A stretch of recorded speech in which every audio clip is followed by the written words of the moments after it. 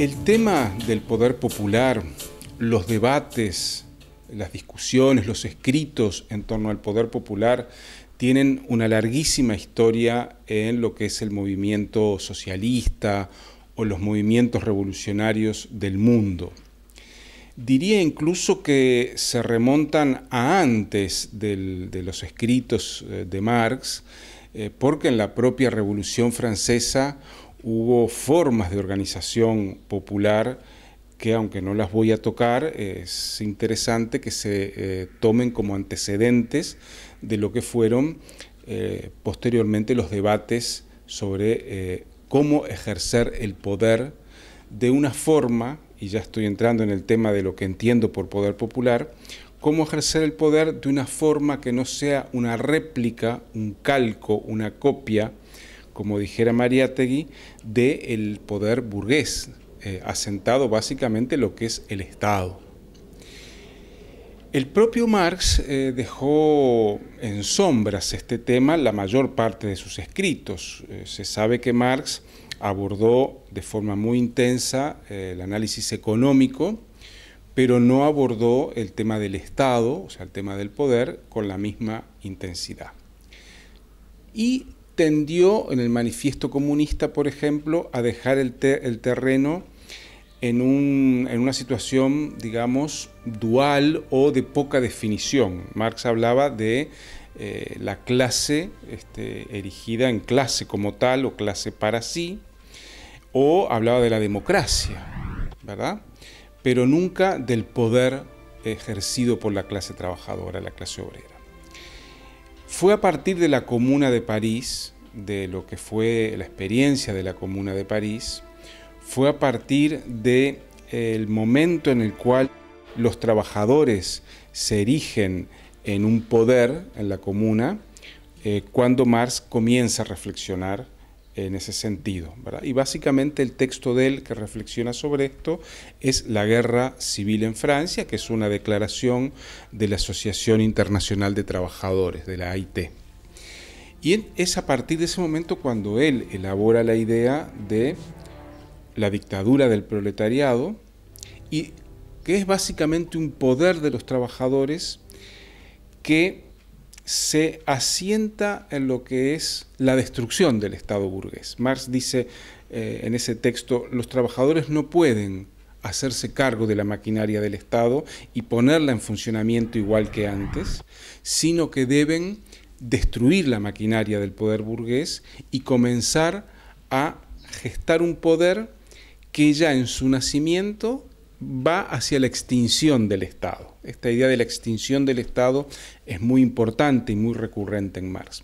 Y ahí es donde trabaja la idea de la dictadura del proletariado y sobre todo de un tipo de poder en el cual los cargos electos, las personas eh, nombradas para ejercer el poder, son eh, permanentemente removibles, no, no se quedan de una manera fija en ese lugar para Marx la idea de burocracia civil o militar es una idea a erradicar en el futuro poder de los trabajadores y en ese sentido eh, la Comuna de París le da una serie de ideas y de, de, experiencias para su reflexión muy ricas. ¿En qué sentido? En el sentido de que le permiten pensar el poder como algo no separado de la gente, como algo controlado por la gente, como algo que puede y sería bueno que fuera rotativo, que no hubiera un grupo de personas especializadas en ejercer el poder, separadas de la gente, y que además tengan unas remuneraciones, eh, que eso se instaló en la, por lo menos en el imaginario de aquel movimiento, eh, similares a las de un obrero calificado, o sea que no tuviera un salario privilegiado. Eh, a partir de ahí, bueno, la idea de la dictadura del proletariado este, y la idea de, este tipo de poder eh, es desarrollada ya casi medio siglo después por los revolucionarios rusos, básicamente por Lenin y los bolcheviques, y acá es interesante constatar cómo hasta 1905 los bolcheviques no tenían una propuesta acabada de cómo iba a ser el poder popular o el poder obrero en la Revolución Rusa.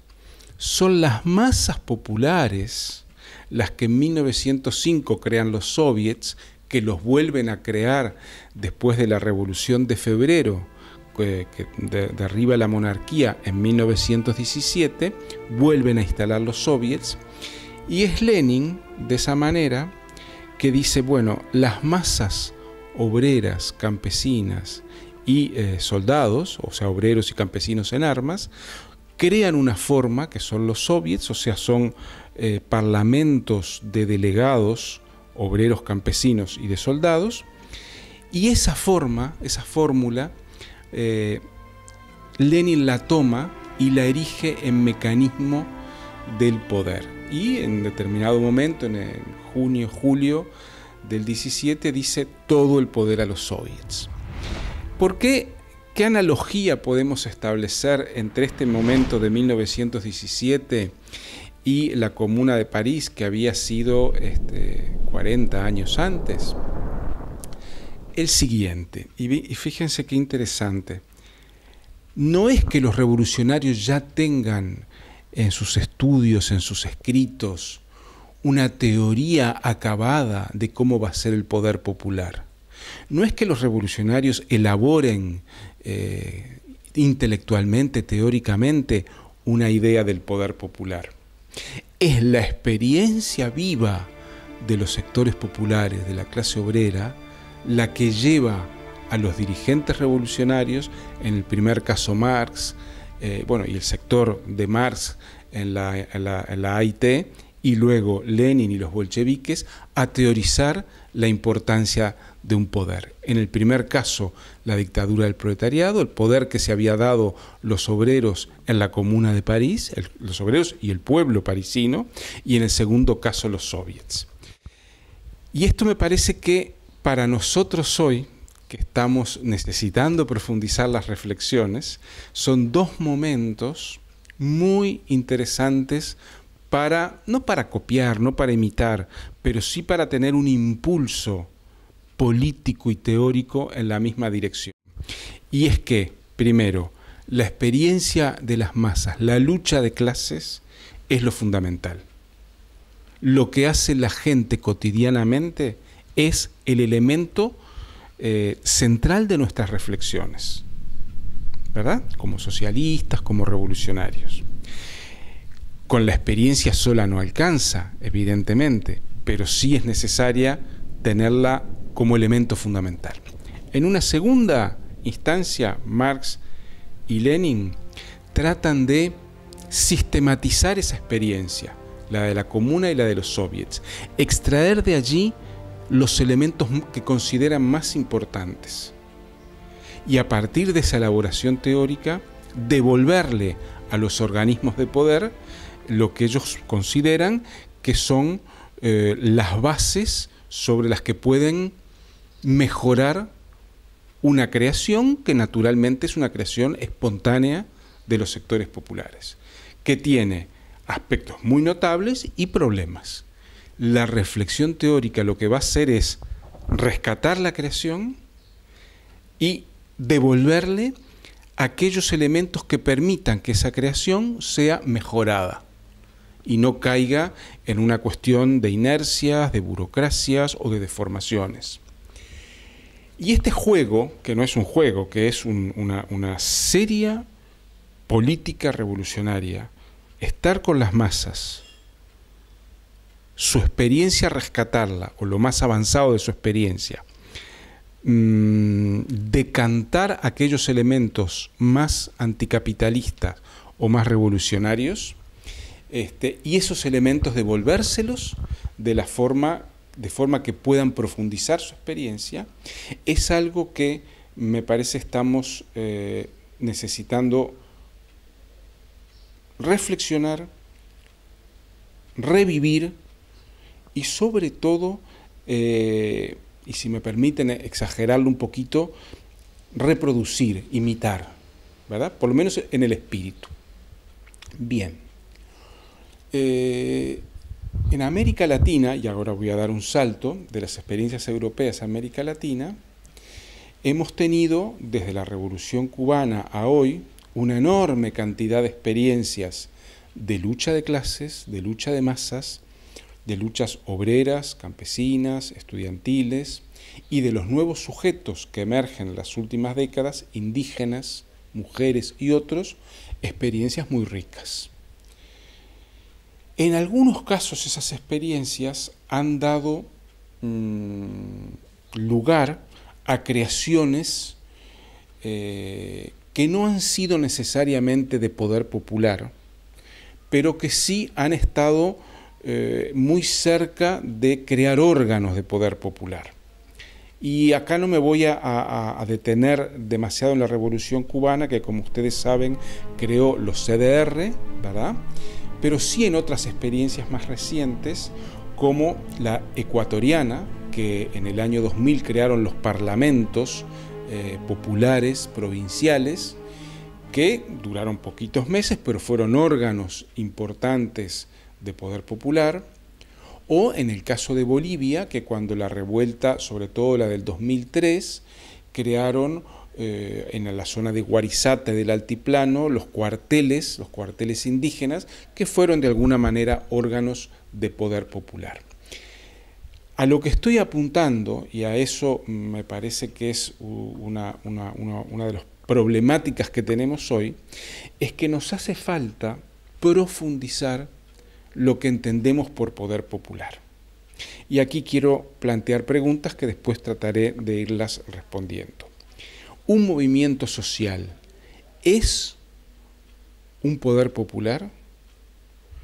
Eh, mi, primera, mi primera respuesta sería no. Es un elemento fundamental de organización popular, pero no necesariamente es un órgano de poder popular o es una forma de poder popular. Eh, las grandes movilizaciones sociales que hemos tenido en las últimas décadas en América Latina son formas de poder popular, yo diría, como respuesta son instancias capaces de destituir gobiernos, de neutralizar el modelo neoliberal, pero no necesariamente han creado órganos de poder popular. En la historia de los últimos 40, 50 años que yo recuerde en América Latina, se han creado órganos de poder popular en Bolivia bajo el gobierno de Torres, Juan José Torres en el año 70, que fue la Asamblea Popular. Antes habían nacido las milicias obreras y las milicias campesinas a raíz de la Revolución del 52. O ha habido durante un tiempo en la clase obrera argentina las coordinadoras fabriles de Buenos Aires en el año 75, que eran un poder transitorio, pero un poder al fin de la, de la clase obrera para enfrentar a la burocracia sindical que en aquellos años estaba muy focalizada en reprimir a los propios trabajadores, ¿verdad? Este, de la mano de lo que fue eh, la gestión de José López Rega, creador de la AAA. Los sindicatos peronistas avalaron la represión de la AAA y fueron inspiradores. Surgieron estas experiencias. O los cordones industriales en Santiago cuando el gobierno de Salvador Allende todas experiencias, y esto me gustaría reafirmarlo, en las cuales los partidos de izquierda, salvo excepciones como el MIR en Chile, no pusieron sus ojos ni, su atención en ellas para profundizarlas y desarrollarlas. Entonces me parece que ahí tenemos un déficit, un déficit importante que nos acompaña ya desde eh, todo el periodo neoliberal hasta el día de hoy, y es, bueno, ¿qué importancia le damos al poder popular hoy en América Latina? ¿Qué desarrollo aspiramos a que tenga? Y cómo trabajamos para impulsar la creación de estos órganos. En primer lugar, quisiera decir que, aunque lo que voy a mencionar no es necesariamente poder popular, sí es una base sobre la cual puede desarrollarse poder popular. Por ejemplo, el movimiento sin tierra de Brasil. El movimiento sin tierra es un vasto movimiento que tiene miles de asentamientos Y en esos miles de asentamientos viven en total unas 500.000 familias, 2 millones de personas, y cada asentamiento es una forma de pequeño poder. ¿Verdad?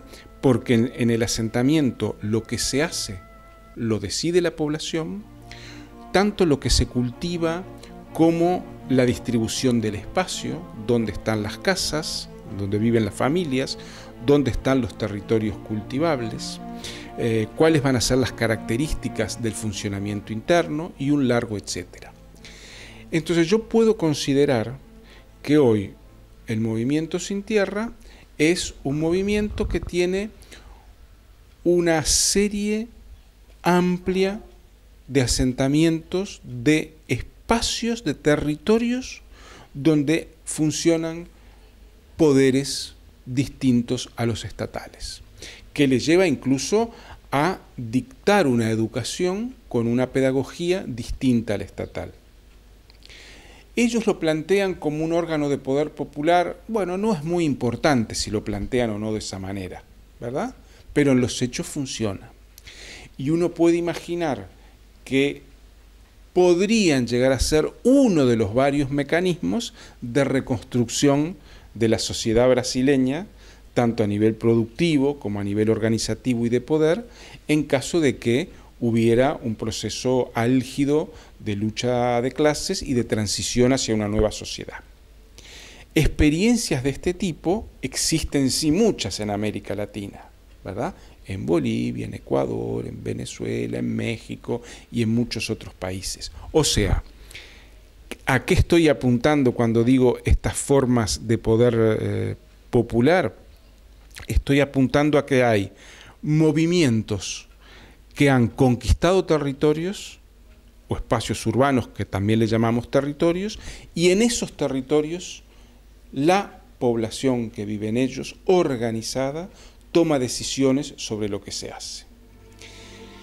Por lo que yo conozco, el único proceso en el cual el gobierno apoya estas experiencias y quiere profundizarlas, incluso crear otras como las comunas, es el caso de Venezuela, donde cada iniciativa del movimiento popular, rural y urbano, es una base posible de un poder y donde además el gobierno promueve la creación de comunas. Evidentemente estos procesos naturalmente son muy desiguales. Nadie puede creer que en Rusia, con Lenin, surgieron eh, soviets en toda Rusia, en todas las ciudades, en todos los barrios de Moscú o de San Petersburgo. No, es muy desigual. Por ahí hay soviets en una zona fabril y en la otra eh, son muy débiles. Bueno, digo esto para que no se crea que eh, en toda América Latina o en toda Venezuela tenemos experiencias de este tipo. Creo que es el único caso, y eso sí quiero destacarlo, en el cual desde el gobierno se perciben los límites de la organización estatal del Estado heredado para producir cambios y se apuesta a órganos de poder popular. Por otro lado, la experiencia también ha dado, y ahora me voy a referir específicamente a México, dos experiencias distintas de poder popular. La primera fue la comuna de Oaxaca en el año 2006, en la cual una parte importante de la población de la ciudad eh, tuvo la ciudad en sus manos durante seis meses, con más de mil barricadas en las cuales regulaban el movimiento en la ciudad, y ejercían un control de la ciudad determinante. Hasta, bueno, llegaron a tener incluso cadenas de radio y de televisión en sus manos, sobre todo las mujeres que ocuparon la televisión, y este, eh, aunque no lo nombraron de esa manera, la Asamblea Popular de los Pueblos de Oaxaca era un órgano de poder durante esos seis meses en que funcionó la comuna de Oaxaca. Y yo insisto, eh, y quisiera dedicarle un poquito de tiempo a esto, que no es lo mismo hablar de poder popular en la ciudad que en el campo. Porque en las áreas rurales, donde están los sin tierra, donde están los indígenas, donde están los zapatistas, la presencia del Estado burgués es una presencia más diluida, en donde los sujetos tienen posibilidad de tomar un territorio, de defenderlo y de ordenar ese territorio de una manera particular. En la ciudad, que por el contrario es el núcleo del poder de la burguesía y del Estado burgués, eh, tenemos dificultades mucho mayores para establecer formas de poder popular, porque no más que un grupo de jóvenes tome un edificio abandonado, ya está la policía al lado este, para desalojarlos. El caso de Caracas, donde hay 300 edificios tomados y gestionados por el movimiento de pobladores y pobladoras, que es una suerte de, poderes urbanos, bueno, es la excepción hoy en América Latina. Una excepción de la cual tenemos que, que congratularnos, que tenemos que felicitarnos de que exista, pero es una excepción. Y también lo fue la comuna de Oaxaca. No es común que la población de una ciudad durante seis meses esté controlando este, la ciudad íntegramente. Y después la otra experiencia que tenemos, y esto me gustaría que fuera como un fin del recorrido, es el zapatismo, que es una experiencia de carácter indígena, es una experiencia rural, por lo tanto, en, en zonas bastante remotas, y es una experiencia que tiene algunas características que la pueden hacer inspiradora, pero probablemente irrepetible. Y quiero mencionar. Una es que los indígenas de toda América Latina están organizados en comunidades y que las comunidades son formas de poder, que en un pequeño territorio un grupo de familias toman las decisiones políticas, económicas, culturales y sociales que les parecen adecuadas. Las comunidades son micropoderes. Lo que han hecho los zapatistas es tener tres pisos de gobierno autónomo. Las comunidades, tienen más de mil comunidades, unas mil doscientas. Los municipios autónomos, decenas de comunidades agrupadas, son 38 municipios, o sea, estamos hablando de un promedio de 40, 50 comunidades, este, forman un municipio. Y luego eh, las regiones autónomas, lo que se llama caracoles y juntas de buen gobierno, que son cinco en total. O sea, tenemos cinco caracoles, 38 municipios y más de mil comunidades. ¿Cómo se gobiernan? Bueno, esto es muy parecido a la comuna de París que trabajó Marx. Las bases nombran representantes, ¿verdad? Que son revocables en todo momento, que son mandatados para cumplir una tarea concreta, pero tienen que rendir cuenta a la población, a las bases o a las comunidades.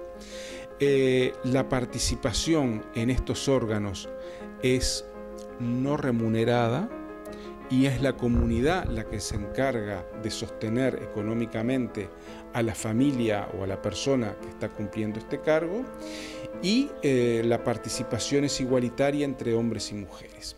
¿Por qué digo que es irrepetible en alguna medida? Porque no se pueden trasladar este tipo de experiencias que sí son ricas e interesantes necesariamente a todas partes.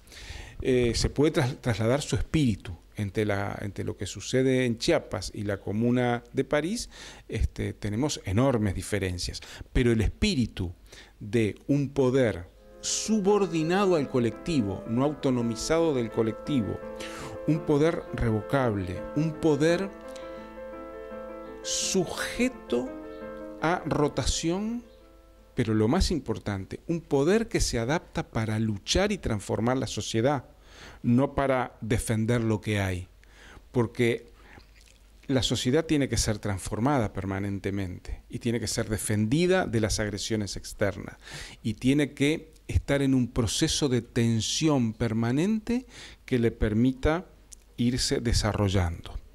Entonces tienen que ser poderes para la lucha, para la resistencia, para profundizar el, combate y el proceso revolucionario.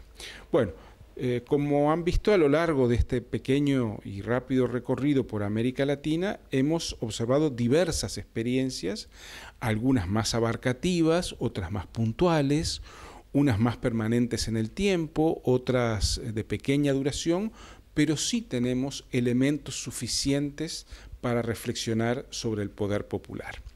Y a partir de esa reflexión me gustaría mm, detallar tres o cuatro cuestiones. La primera, el poder popular no es el Estado, es algo distinto al Estado y en conflicto con el Estado. Es un poder que se dan, se dotan a sí mismo, es la autoorganización de el sujeto o los sujetos revolucionarios que no es un sujeto parcial, que no son las mujeres o los jóvenes, no, que es un sujeto múltiple y que se dota de formas de poder. Esa es la primera cuestión que me gustaría destacar y como he dicho anteriormente es un poder que tiene sus propias características, rotación, sujeción al colectivo, etc. En segundo lugar, no solo es un poder distinto al estatal, sino que tenemos que discutir qué relación va a tener con el Estado. Evidentemente aquí puede haber relaciones de cooperación, de cooperación y de conflicto, o de diálogo y de confrontación. Es difícil que haya una sola o la otra. ¿Por qué el conflicto va a estar presente siempre? Porque son poderes que apuntan a cosas distintas. El poder del Estado, si el Estado está en manos de un gobierno de derecha va a ser un Estado funcional a la acumulación de capital y el poder popular justamente se plantea lo contrario. Entonces ahí va a haber un conflicto fuerte. Pero si el gobierno estuviera en manos de, fuerzas progresistas o de izquierda, ahí habrá dos situaciones. Una en la cual necesariamente la diferencia que implica el poder popular, le va a hacer a ese gobierno progresista o de izquierda, como le queramos llamar, tensionar sus fuerzas porque va a tener que apoyar al poder popular, pero a su vez va a seguir siendo el gerente del Estado. Entonces, como gerente del Estado va a tener una lógica y como apoyo o más o menos al poder popular, este, va a tener otra lógica determinada. Pero a partir de ahí se suscita un segundo problema y es en qué grado ese gobierno que va a administrar un Estado va a estar eh, apoyando en qué medida, en qué porcentaje, por decirlo de una manera simplista, a ese poder popular. ¿Va a ser un apoyo total o un apoyo parcial? ¿Va a ser un apoyo condicionado o incondicional? Bueno, esto es un elemento de disputa. Por eso planteo que en los casos en los que exista un gobierno progresista, incluso va a haber un espacio de confrontación, de conflicto, de disputa entre el poder popular y ese Estado eh, gobernado por fuerzas progresistas. En última instancia, a lo que me parece que es imprescindible apostar, lo que es fundamental apostar, es a lo siguiente. Si aspiramos a la revolución a derrotar el capitalismo, a derrotar a la burguesía, que es la clase que dirige el capitalismo y del cual se beneficia, y que permanentemente está disputando eh, el control del Estado, si aspiramos a eso, a transformar a fondo la sociedad y a derrotar el capitalismo, necesitamos no solo luchar, organizarnos y luchar, sino a su vez dotarnos de formas de poder que, aseguren que en los espacios que vamos dominando la lógica del capitalismo y de la burguesía no se reproduzcan, que esté contenida. Eh, hay una discusión aquí en las fuerzas de izquierda, ¿verdad? De alguna manera todos tenemos hábitos y, formas de hacer que son capitalistas, ¿verdad? No solo el capitalismo es algo externo, también está en nosotros. Bueno, con más razón, el capitalismo debe ser contenido, el que hay en, el mundo y el que hay dentro nuestro. Las prácticas capitalistas deben ser contenidas y deben ser potenciadas las prácticas comunitarias, socialistas, colectivas, comunistas. El nombre no, lo vamos a, no nos vamos a pelear con él, por lo menos yo por él, son prácticas no capitalistas. Y para eso hace falta un poder. Y ese poder no puede ser fotocopia del Estado, tiene que ser un poder distinto. Tiene que ser un poder que es como una herramienta en manos de la población. Y eso es lo que me parece que tenemos que discutir en este periodo histórico, que tenemos que profundizar en este periodo histórico. Y para terminar, me gustaría señalar que la crisis del socialismo real, la crisis de la Unión Soviética, el fin del campo socialista, ha generado una falta de debate sobre estos temas. Hasta ese periodo, que podemos ser los años fines de los años 80, principios de los 90, los debates sobre el poder popular estaban sobre la mesa. Y había quienes optaban más por las comunidades o las comunas y otros más por los soviets. Y había una, una, una gama importante de propuestas y de debates. Había más autonomistas, menos autonomistas, etc. Pero hoy el debate sobre no sobre el Estado, sobre el poder popular, es un debate prácticamente abandonado. Y me parece que no profundizar estos debates, que no tenerlos presentes, nos hace indefectiblemente recaer en una idea que tanto Marx como Lenin, como Mao, como los revolucionarios de todos los tiempos han combatido. El Estado, tomar, hacerse cargo del Estado y reproducir el funcionamiento no es suficiente para avanzar en un camino alternativo. Y además el Estado es una maquinaria muy perversa que reproduce estadistas, reproduce funcionarios, reproduce burócratas. Aunque esté en mis manos, si yo tomo el aparato del Estado, es una máquina necesariamente separada de la gente. Por eso es necesario volver a, a discutir con fuerza el tema del poder popular. Eso no quiere decir que en cierto momento no sea positivo que fuerzas progresistas se hagan cargo de ese Estado, ¿verdad? Para que no lo utilice la clase enemiga contra las fuerzas populares. Eso es otro debate. Yo me quiero centrar en la importancia del poder popular, de recuperar experiencias históricas, de rediscutir los soviets, de rediscutir la Comuna de París, de rediscutir las comunas este, chinas, etcétera, etcétera, y las experiencias latinoamericanas, algunas de las cuales he mencionado.